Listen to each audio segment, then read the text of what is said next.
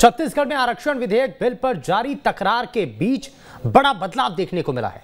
छत्तीसगढ़ में नए राज्यपाल की नियुक्ति की गई और वर्तमान राज्यपाल अनुसुईया उइके को मणिपुर का राज्यपाल बनाया गया। अब इस बीच जहाँ शुभकामनाओं और बधाई का तांता लगा है तो नए राज्यपाल के एक नई उम्मीद और आस भी जग चुकी है कि सरकार और राजभवन के बीच जारी टकराव पर क्या विराम लगेगा। आखिर छत्तीसगढ़ की राजनीति में आगे के संकेत क्या हैं? और आज इसी पर करेंगे चर्चा, लेकिन पहले एक रिपोर्ट देखते हैं।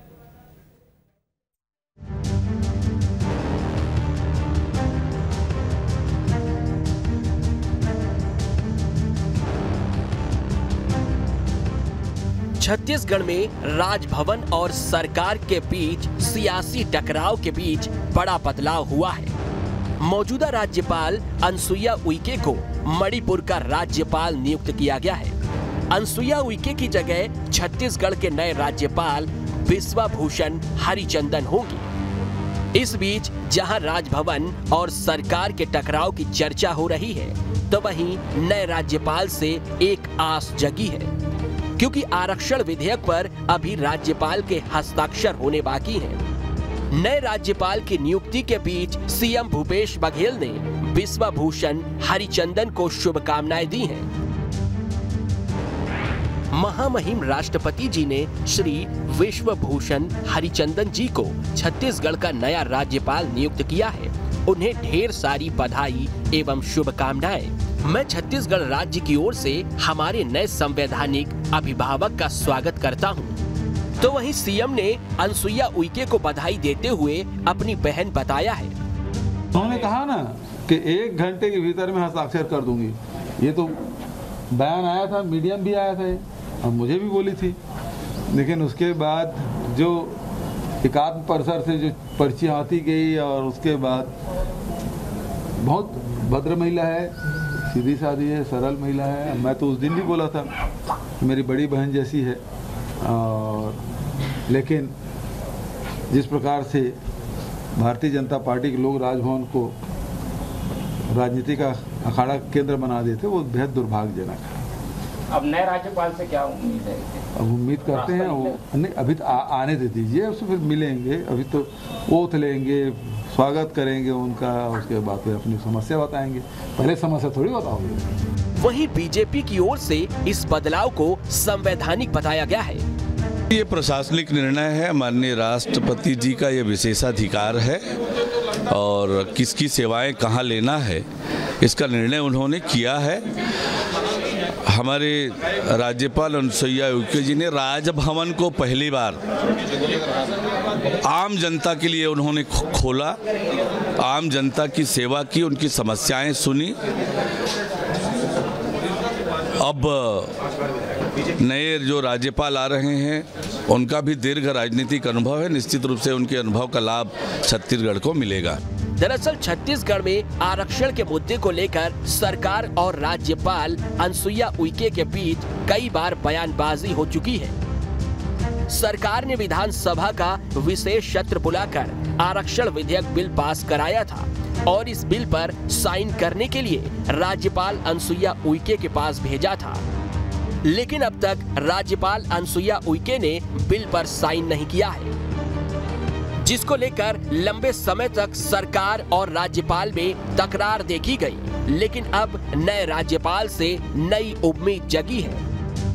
दरअसल सरकार और राज्यपाल के बीच आरक्षण बिल पर विवाद था, जिसको लेकर प्रदेश की सियासत लगातार गरमाई थी। कांग्रेस का राजभवन से लेकर सड़कों तक हंगामा देखने को मिला था। वहीं बीजेपी की ओर से भी लगातार पलटवार किया गया था। 2 दिसंबर को आरक्षण विधेयक विधानसभा में सर्वसम्मति से पारित हुआ। राज्यपाल के पास हस्ताक्षर के लिए भेजा गया। कई दिन बीत जाने के बाद भी राज्यपाल ने बिल पर हस्ताक्षर नहीं किए। बिल को लेकर राज्यपाल ने सरकार से 10 सवाल पूछे थे। सरकार का दावा है कि 10 सवाल के जवाब दे दिए गए। बावजूद इसके, राज्यपाल ने बिल पर हस्ताक्षर नहीं किए। कांग्रेस ने बीजेपी पर दोहरा मापदंड अपनाने का आरोप लगाया। बीजेपी के दबाव में राज्यपाल पर काम करने का भी आरोप लगा। ऐसे में शुभकामनाओं और बधाई के बीच नए राज्यपाल से नई उम्मीद जगी है। अब देखना होगा कि बिस्वा भूषण हरिचंदन के राज्यपाल बनने के बाद क्या सरकार और राजभवन में आरक्षण को लेकर जो तनातनी है, वो दूर हो पाएगी या फिर से विवाद और बढ़ेगा? Team news state. तो सवाल यही है कि क्या राज्यपाल बदलने के बाद जो सियासी संकट इस वक्त बना हुआ है और जो टकराव की स्थिति बन चुकी है, क्या उसका अंत होने जा रहा है? बहुत सारे ऐसे सवाल हैं और इन्हीं सवालों का जवाब तलाशने की कोशिश करते हैं, लेकिन सबसे पहले आज के खास मेहमानों से आपको मिलवा देते हैं हमारे साथ वरिष्ठ पत्रकार बाबूलाल शर्मा जी कार्यक्रम में जुड़ चुके हैं। बाबूलाल जी, बहुत स्वागत है आपका कार्यक्रम में। और भारतीय जनता पार्टी से नेता राजीव चक्रवर्ती जी कार्यक्रम में जुड़ चुके हैं। राजीव जी, आपका भी बहुत स्वागत है। और शुरुआत राजीव जी आपसे ही कर रहा हूँ। बार बार कांग्रेस पार्टी की तरफ़ से बीजेपी के ऊपर कई गंभीर आरोप लगाए जाते रहे। राज्यपाल की जो स्थिति थी और जो स्टैंड था, उसको लेकर के कई तरीके के राज्यपाल के ऊपर भी सवाल उठाए गए। ये कहा जाता रहा कि बैक एंड पर आकर के बीजेपी सपोर्ट कर रही है। ये कुछ इस तरीके के आरोप थे। लेकिन अब राज्यपाल बदल दिए गए हैं और बदलते हुए इस तस्वीर को आप किस तरीके से देख रहे हैं? आपको लगता है जो टकराव की स्थिति थी, सरकार और राजभवन के बीच में जो आप कह लीजिए कि जो तनातनी बनी हुई थी, शायद वो खत्म हो जाएगी। राज्यपाल, जो नए राज्यपाल आए हैं, क्या वो हस्ताक्षर कर देंगे? आरक्षण का मसला साफ़ हो जाएगा? आपको क्या लगता है? नहीं देखिए, राज्यपाल जो बदले जाते हैं, या छोटे राज्य से बड़े राज्य में भेजे जाते हैं यह जो ये एक सामान्य प्रक्रिया है, इसके साथ किसी सियासत को साथ जोड़ना, ये बहुत जल्दबाजी होगी।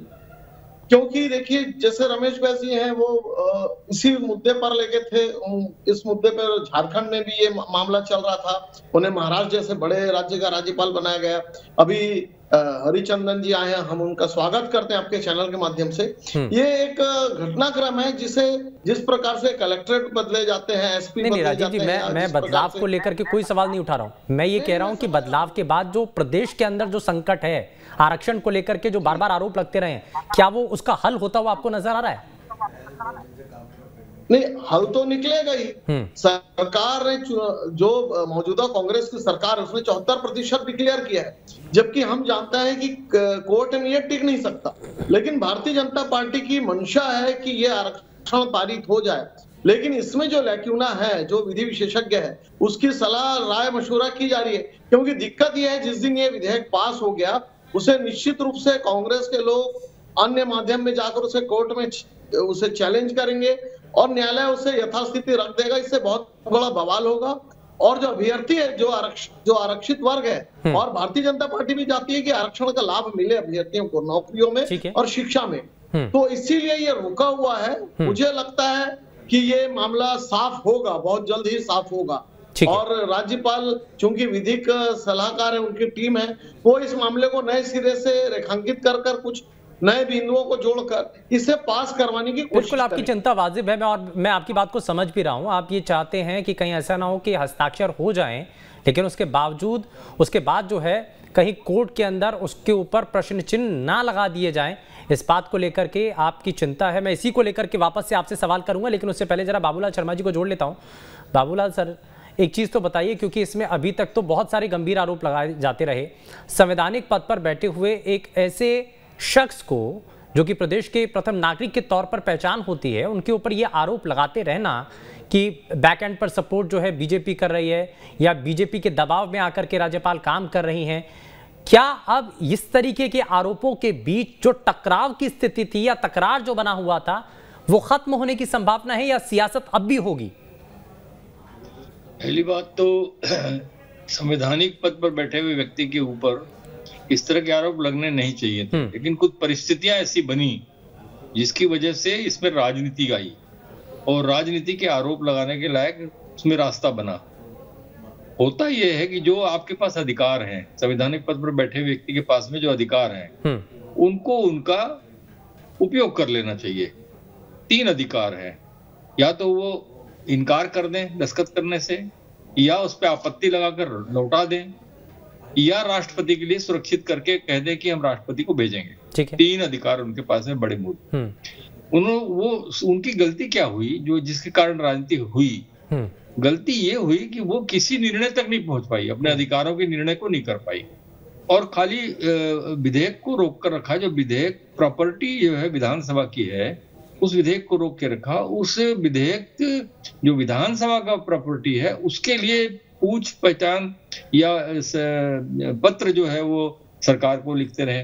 तो इस वजह से ये विवाद बना और विवाद बनने के बाद जिस तरह से रोका गया था हालाँकि ये बात सही है कि संविधान में कहीं भी इस बात का उल्लेख स्पष्ट नहीं है कि राज्यपाल को कितने दिन रोकने का हाँ। अधिकार है। उसमें कहीं स्पष्ट होने की वजह से भी उसमें मेंशन नहीं है। कहीं भी नहीं लिखी लिखी हुई है। इसलिए जो है ये कुछ कहा नहीं जा सकता आरोप नहीं लगना चाहिए था लेकिन ये हुआ। हम्म। वो निर्णय तक पहुँच जाती तो सर अब विश्वाभूषण हरिचंदन जी आए हैं। देखिए राजनीतिक की जब राज्यपाल बनता है हाँ। तो उसके अपने दृष्टिकोण बन जाते हैं। है। और ये तो जनसंघ के समय से जो है सदस्य हैं हाँ। भारतीय जनता पार्टी के जनता दल में भी रहे। हाँ। तो विधायक भी बने पाँच बार के विधायक है मंत्री बने। तो इनका तो पूरा बैकग्राउंड ही राजनीतिज्ञ है कंप्लीट तो वो जो है उसमें कॉर्नर बन जाता है। वो कॉर्नर अगर होगा जगह वीके जी का कॉर्नर क्या था? वो पहले कांग्रेस में थी फिर भाजपा में आई। थी हाँ। उनका सोच जरा दूसरे किसी का लेकिन ये तो भारतीय जनसंघ में है।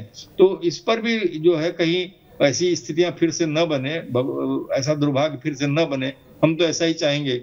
लेकिन मुझे लगता है कि जो विधेयक के लिए हम पहले भी बोल चुके थे कि अभी अटकेगा हाँ। वो अभी भी अटका ही रहेगा। यानी कि आरक्षण को लेकर के आमने सामने की स्थिति सरकार और राजभवन के बीच में आगे भी बनने की संभावनाएँ ऐसी हो सकती हैं। लेकिन जरा जल्दी से एक रिएक्शन और ले लेता हूँ। अभय नारायण जी लगातार हमारे साथ आ, अब कार्यक्रम में जुड़ चुके हैं। बहुत स्वागत है अभय नारायण जी हमारे साथ आप जुड़े।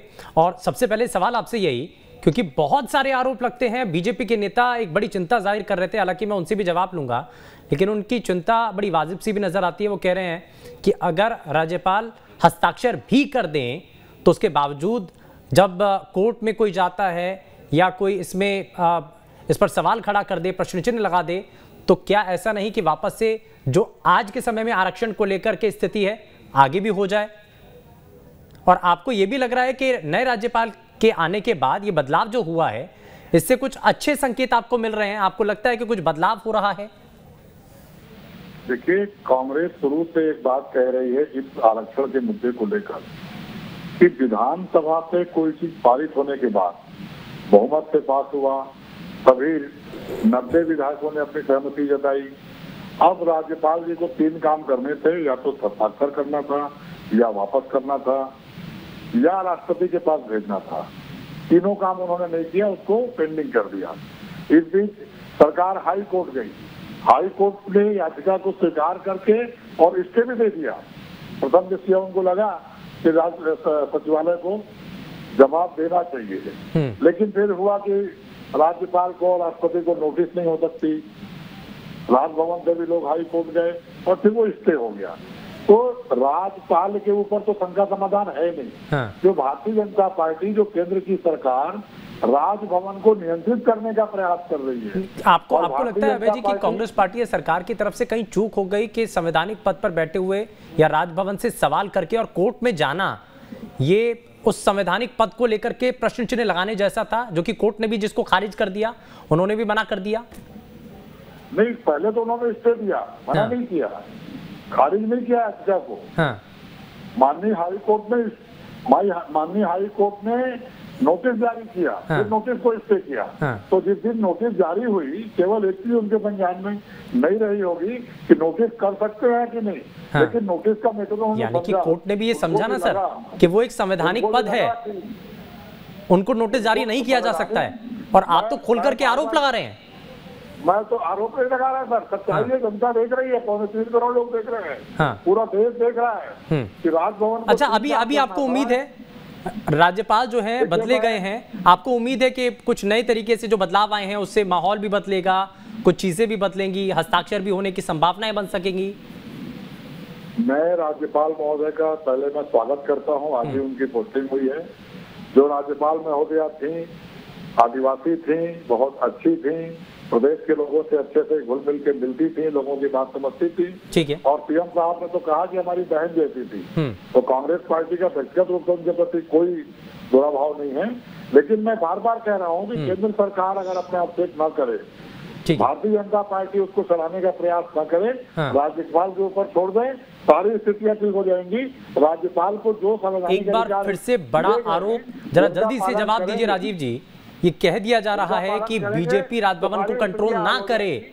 और जिस बात को लेकर के आप चिंता ज़ाहिर कर रहे थे आपने कहा कि कहीं ऐसा नहीं हो कि बाद में कोई कोर्ट में जाकर के चैलेंज कर दे छिहत्तर फ़ीसदी आरक्षण को।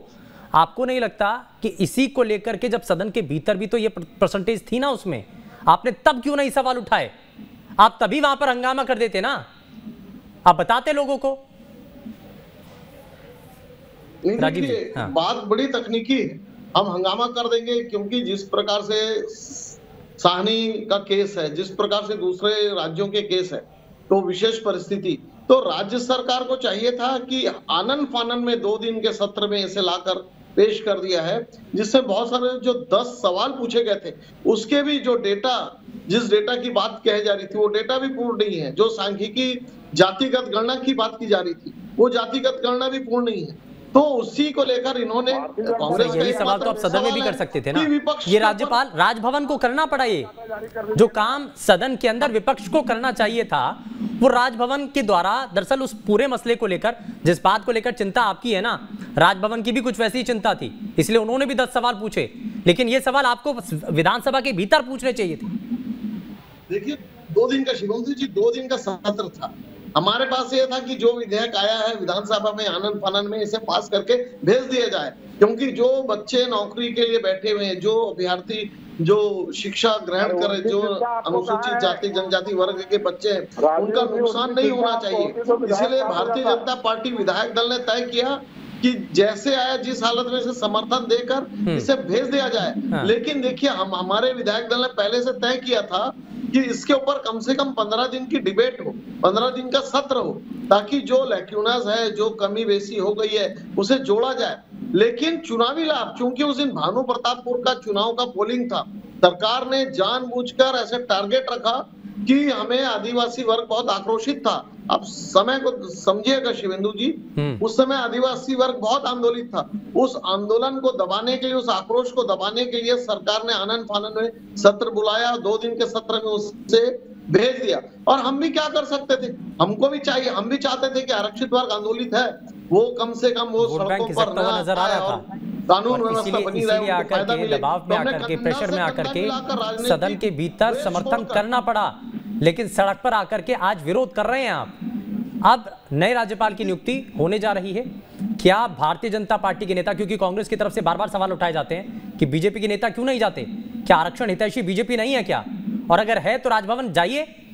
अकेले कांग्रेस थोड़ी लड़ रही है इस लड़ाई को। आप भी तो लड़ रहे हैं आप भी तो चाहते हैं तो पहुंचिए राजभवन। राज्यपाल से मुलाकात कीजिए। नहीं देखिए राज्यपाल महोदया ने बहुत शानदार उन्होंने एक पैनल बनाया था लॉयर्स की उनकी रपट अभी तक आई नहीं है। हम चाहते हैं ना कि दो दिन का फ़ायदा ना मिले। कांग्रेस चाहती है कि राजनीतिक शिकुफा राजनीतिक उसे छोड़ दे और बता दे कि भाई वो तो कोर्ट से खारिज होकर आ गए हम तो देना चाहते थे। भारतीय जनता पार्टी चाहती है आरक्षण का पूरा पूरा फ़ायदा मिले हाँ। आरक्षित वर्गों को। दोनों में अंतर है। कांग्रेस राजनीतिक शिकुफा चाहती है भारतीय जनता आरक्षण का वर्ग का लाभ चाहती है। ठीक है। तो हम चुनावी लाभ या राजनीतिक लाभ के लिए आरक्षण नहीं कांग्रेस चाहते। लाभ चाहती तो थी बीजेपी लाभ नहीं चाहती आनंद फानंद कहना आप ये चाह रहे हैं? बाबूलाल शर्मा जी को ज़रूर लेता हूँ। बाबूलाल सर इसमें सियासत तो है असल में और सियासत की वजह से ये पूरा मसला इतने लंबे तक टाइम तक चला भी है। लेकिन आगे की परिस्थिति आपको क्या नज़र आ रही है? आप बहुत बढ़िया एक सुरेंदु जी एक प्रश्न किए राजीव जी से। हम्म। कि आप भी अगर चाहते हैं कि आरक्षण मिले और युवाओं को नौकरी मिले उनमें किसी बाधा अड़चन न आए हम्म। तो राजभवन आप भी जाइए वहाँ भी बोलिए कहिए कि वो करिए आप करके। वो बिल्कुल सही प्रश्न किया। वहाँ पर जवाब जो है वो नहीं मिला। हम्म। देखिए कांग्रेस को कांग्रेस गई राजभवन में प्रेयर किया प्रार्थना की उन्होंने कहा कि भाई आप कर दीजिए दो बार गई। लेकिन भारतीय जनता पार्टी सिर्फ़ बयान पर अटकी रही यही मुद्दा बना कि जिसकी वजह से आरोप प्रत्यारोप का मुद्दा बन गया अन्यथा भारतीय जनता पार्टी पर आरोप का कोई प्रश्न नहीं था क्योंकि भारतीय जनता पार्टी ने दो दिन के बहस में विधानसभा में हर तरह से जो है पॉइंट लेकुना के पॉइंट सारे उजागर किए हम्म। और कहा कि इसके बगैर जो है ये अटक जाएगा कोर्ट चला जाएगा कांग्रेस का पक्ष ये था कि हमको ये करके भेजना है और वो देखिए होता क्या है अगर मान लीजिए राज्यपाल हस्ताक्षर कर देती इसी विधेयक पर ठीक है तो होता क्या कि वो भले ही कोर्ट में चले जाते लोग हम्म लेकिन कोर्ट में वो केस तीन चार साल पाँच साल छह साल पता नहीं कितने साल चलता हम्म। तो वो पाँच छह साल जैसा पहले मिल रहा था हाँ। आरक्षण वैसा आरक्षण मिलता रहता हम्म। क्योंकि जब 20 से 32 परसेंट डॉक्टर रमन सिंह ने किया था हाँ। तब भी वही स्थिति थी वो कोर्ट में चले गए थे और कोर्ट का फैसला अब आया मौजूदा वक्त की सरकार को मिल जाएगा और यही नहीं चाहते हैं तो यही बात जो है पॉलिटिकल हो गई यहाँ पे हाँ। यहाँ पर अगर पॉलिटिकल होने से क्या श्रेय का मुद्दा मुद्दा हो गया हम्म। और पॉलिटिक्स पॉलिटिशियन इसमें घुस गई इस वजह से ये मामला विवादास्पद हो गया हम्म। और राज्यपाल किसी एक विषय तक नहीं पहुँची ये एक बहुत बुरी बात है देखिए अभी जो आ रहे हैं वो परिपक्व राजनीति के व्यक्तित्व के धनी हैं कानून के ज्ञाता हैं वकील हैं और मुझे लगा ठीक है वो भारतीय जनसंघ के रहे हैं जनता दल के रहे हैं राजनीति के रहे हैं वो अलग मुद्दा है। हम्म। लेकिन वो कानून के ज्ञाता है ये विधेयक पर कानूनी स्थिति को खुद ही समझ लेंगे। हम्म। उनको किसी सलाह की ज़रूरत नहीं पड़ेगी एक निर्णय तक ज़रूर पहुंचेगी मुझे लगता है। वो तीन अधिकार जो है उनके किसी एक निर्णय पर पहुँच जाएँगे। या तो वो लौटा देंगे हाँ। या राष्ट्रपति के लिए रख लेंगे या कह देंगे मैं इस पे साइन नहीं करूँगा। मुझे लगता है ये निर्णय कर लेंगे। और अगर ऐसा होता तो कम से कम जो अभी विवाद की स्थिति भी है जो संकट के बादल घिरे हुए हैं वो कम से कम छटने की उम्मीद भी है। अभय नारायण जी लेकिन आपको नहीं लगता कि अभी प्लान ए पर ही सिर्फ़ काम चल रहा है? सरकार ने जो विधेयक लेकर के आए वो प्रस्ताव अब राजभवन पहुँचा अभी तक अटका हुआ हस्ताक्षर नहीं हो रहे अगर ऐसा ही चलता है आगे तो सरकार के पास कोई दूसरा रास्ता क्या है? चुनाव भी तो सर पे है लोगों के बीच में भी तो जाना है। तब आप क्या कहेंगे कि हस्ताक्षर नहीं हुए? सर जनता पूछेगी कि ज़िम्मेदारी तो आपकी है सरकार तो आपकी है। आप आरक्षण नहीं दिला पाए। क्या कहेंगे फिर निश्चित रूप से शुभेंदु जी, कोर्ट से रोक के बाद हमारी जवाबदारी है। उस जवाबदारी को हमने पूरा किया और काफ़ी रास्ता बंदी की हैं।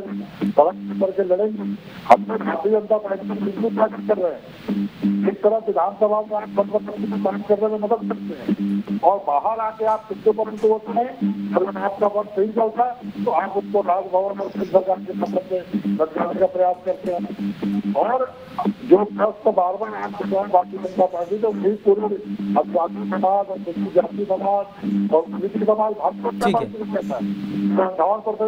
ठीक है। ठीक है। यानी कि आपका ये मानना है कि जो स्थितियाँ बनी हैं, वो बीजेपी की वजह से बनी हैं। लेकिन राजीव जी, अब तो जवाब दे दीजिए। अब तो बताइए आगे क्या करना चाह रहे हैं आप? नए राज्यपाल आने वाले हैं। उनसे मुलाकात करेंगे या सिर्फ़ इंतज़ार करेंगे कि सारे काम कांग्रेस ही करे? सिर्फ़ आरोप लगाने का काम होगा आपका? ये देखिए, आरक्षण पे जितने बार गतिरोध हुआ है, वो गतिरोध कांग्रेस पार्टी जो, इन लोगों ने आरक्षण के ऊपर टिप्पणियाँ की जो कोर्ट गए वो भी कांग्रेस के लोग थे। और जो आज भी जो मौजूदा स्थिति है कांग्रेस ने आनंद फानंद में इसे विधानसभा से पारित करवाया। जिसे बाबूलाल जी बहुत दीर्घकालीन अनुभव है उनको राजनीति का विधानसभा का। उन्होंने स्पष्ट कहा कि बीजेपी ने पॉइंट आउट किया था कि जो सांख्यिकी डेटा की बात थी जातिगत जनगणना की बात थी जो 2011 का लिया गया ये सारी बातों को अजय चंद्राकर जी ने ब्रजमोहन अग्रवाल जी ने डॉक्टर रमन सिंह जी ने बार बार कहा। धर्मलाल कौशिक जी ने कहा कि क्वांटिनम डेटा को आप किस प्रकार से करेंगे? लेकिन इन्होंने एक न सुनी। सर तो आपके पास कोई आधार था? आपकी सरकार ने भी तो आरक्षण दिया ना छप्पन फ़ीसदी को जब सवाल खड़े कर दिए जाते हैं। आप बार बार कह रहे हैं ना आधार बना करके जब छप्पन फ़ीसदी पर सवाल खड़े कर दिए तो आगे छिहत्तर फ़ीसदी का क्या होगा? तो छप्पन फ़ीसदी पचास फ़ीसदी से ज़्यादा नहीं होना चाहिए था ना। आपने किस आधार पर किया? आपके पास कोई रिपोर्ट थी क्या? नहीं नहीं हम तो चाहते मिले। जब सरकार ने कहा कि हम छिहत्तर मैं पूछ रहा हूँ कि जब आपकी सरकार ने आरक्षण का लाभ दिया तो तब आपके पास कोई डाटा था कोई आधार था? पचास फ़ीसदी आपकी सीमा थी ना? लेकिन आपने फिर भी छप्पन फ़ीसदी किया। किस आधार पर किया फिर? हमने दिया हमारे पास डेटा था। हम्म। उसका पुराना डेटा था 2008 का डेटा था। कांग्रेस पार्टी के प्रवक्ता और नेता बार बार कहते हैं कि आप कोर्ट के अंदर कोर्ट के अंदर आप वो पेश ही नहीं कर पाए। इसी वजह से इसको चैलेंज किया गया। लेकिन शिवेंदु जी हमने दिया तो पाँच साल चलता रहा कोर्ट में मामला चलता रहा। सर यही तो बाबूलाल शर्मा जी कह रहे हैं कि अगर आज भी सरकार अगर राज्यपाल महोदय अगर आज भी हस्ताक्षर कर देते हैं तो तीन चार साल तो चलेगा ही केस। तब तक तो लाभ मिलेगा ही। नहीं तीन चार साल नहीं चलता। हाँ। अब फास्ट ट्रैक कोर्ट में चलता है। आजकल तुरंत निर्णय आ जाते हैं। और इसमें इतनी भयंकर लैकुना है जो दस सवाल पूछे गए थे उसके पूर्ण जवाब नहीं है।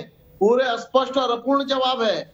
इसीलिए इसकी संभावना है सौ प्रतिशत कि इसे पाँच दिन दस दिन बाद कोर्ट में चैलेंज कर दिया जाएगा और यथास्थिति लाएगी दिल पर हाथ रखिए जो बच्चे आज राजीव जी दिल पर दिल पर हाथ रख करके बताइए कि आरक्षण इसी सरकार में मिल जाए तो अच्छा है? या ऐसे लटका रहेगा तो ज़्यादा बेहतर होगा? नहीं नहीं मिलना चाहिए। हाँ। तो चाहते हैं हम तो चाहते हैं कि आरक्षण मिलना चाहिए जिस प्रकार चलिए ठीक है। कर्नाटक में मिल रहा है ठीक है सर समय थोड़ा सा कम है माफ़ी के साथ रुक रहा हूँ। खैर बहुत शुक्रिया सभी खास मेहमानों का। कार्यक्रम में शामिल होने के लिए, लेकिन नए राज्यपाल के आने के बाद क्या जो सियासी संकट है, जो टकराव की स्थिति है, क्या वो खत्म होने जा रही है?